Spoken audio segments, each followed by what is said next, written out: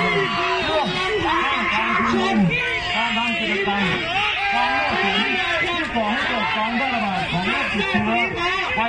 คโรนา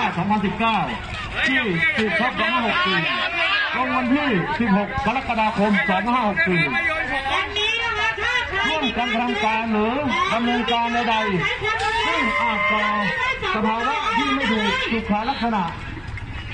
ซึ่งอาจเป็นให้โรคติดต่อ ฝืนหรือไม่ปฏิบัติตามคำสั่งของเจ้าพนักงานควบคุมโรคติดต่อ